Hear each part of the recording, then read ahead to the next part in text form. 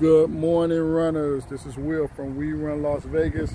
Just giving you an update on what's going on with the cruise lines in Las Vegas, what's going to be the new norm from now, and how they're going to be operating.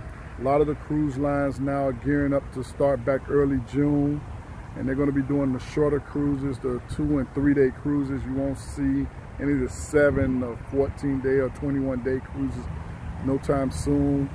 Um, and that's the way they're going to be running it for now. Um, a lot more social distancing on cruises. Um, servers going to be handling your food more so than it's going to be you going up to the buffets on the cruise lines and getting it yourself. You're going to have probably be operating at 50%. I can't see a cruise line putting two to 3,000 passengers on a cruise anymore no time soon. And that's going to be the new normal for cruises. And as, as far as um, pricing, I don't know. I think the pricing is going to go up a little bit because they got to accommodate for the people that's not going to be on cruise. Maybe early on you'll see a lot of discounts and a lot of specials to drive traffic back to cruising, but once they get back, unfortunately, I think they're going to go up on the prices of tickets because of all the, the, the lack of clientele per se and we'll see. We'll just see how it goes. But starting off, I think you'll get a couple of discounts here and there on certain cruise lines, especially if you start looking now for like June, July, maybe all the way up until the end of the year. But the turn of next year, it's got to they got to make up the, the funding of the money that was lost, quote unquote, um, during this pandemic. We'll see how it works out and enjoy the view. I'm going to show you some more of the cruises are the cruise lines that's in um, I think you got Royal Caribbean that's in Princess Cruise Line, Norwegian, Carnival.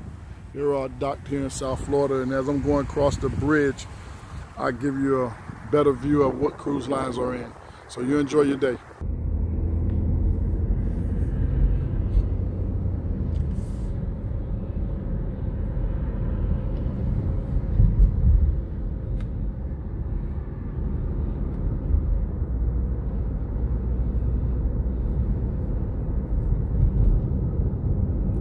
Got Carnival there, you got Princess Cruise Lines here, you got, I think that's Norwegian, I think you got one Royal Caribbean up the front. Got a few of the um, bigger cruise line, lines that's still docked in port here in Miami. A lot of them are Fort Lauderdale. They're they're not docked in port. They're out at sea. You got what this is, Norwegian Epic, one of the larger ones.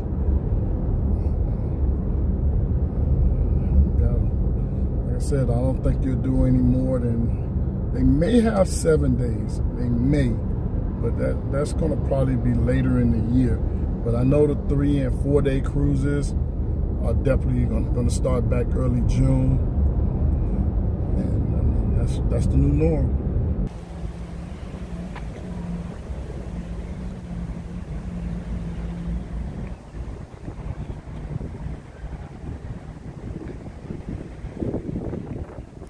Container ship coming in. You got some sights. It's moving in.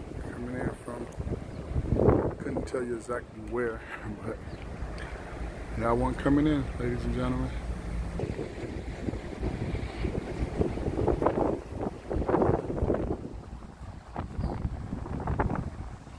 All types of goods, merchandise from all around the world right there on this container ship. That's how it comes in. It goes down there to the port. But like I was saying, as far as casinos go, I don't think you're gonna get the same casino activity that we used to get in Vegas because of the coronavirus. You're gonna have another thing is gonna probably be at 50% capacity. Um, slot machines is not gonna be slot machines that you can play right next to each other because they'll spread them apart as far as the distancing. Maybe they'll disable one or two behind behind each other. Um, another thing what will happen, um, you'll probably get in the hotel itself, you won't get full capacity right away. The pools, you won't be able to use the pool. No pool parties. The shows, I'm quite sure they're gonna do the mask and the social distancing at the shows as well. You'll get 50% capacity as far as the shows go. Um, yeah, the table games, there'll be less people at the table games. Probably won't be able to stand around and watch someone gamble at a blackjack table per se. Probably only be two or three people per table.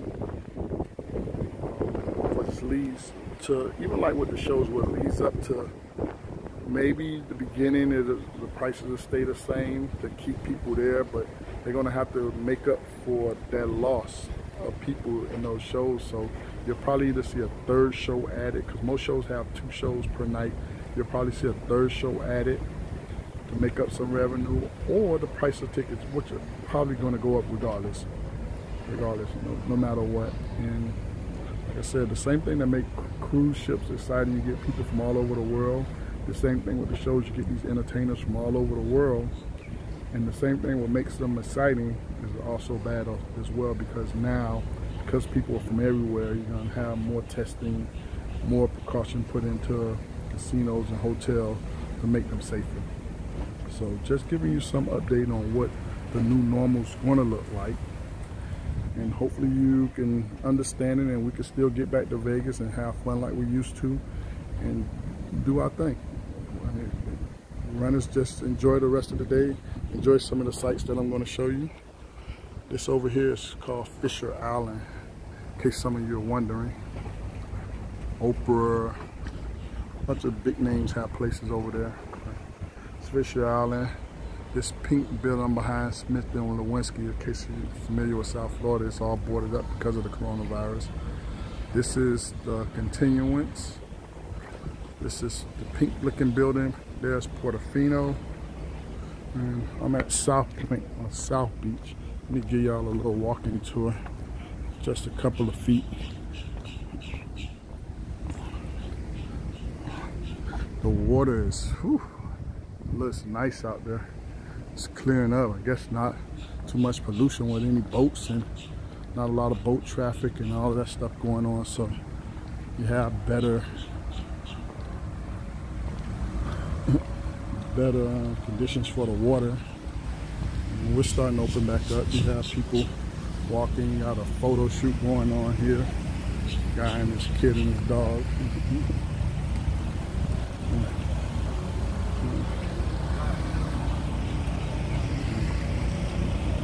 Nice photo shoot going on.